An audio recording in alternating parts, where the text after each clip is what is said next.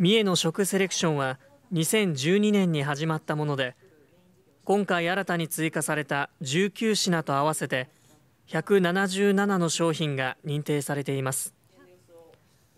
今回は伊賀市の農家が育てた酒米山田錦を使ったきめ細かく奥深い味わいが楽しめる日本酒や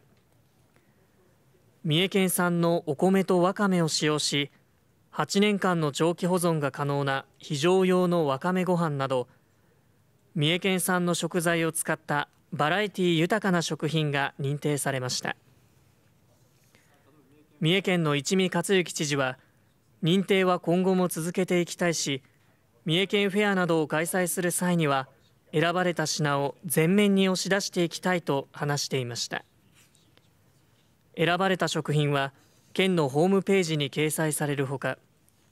東京にある三重県のアンテナショップ三重テラスなどで販売されるということです。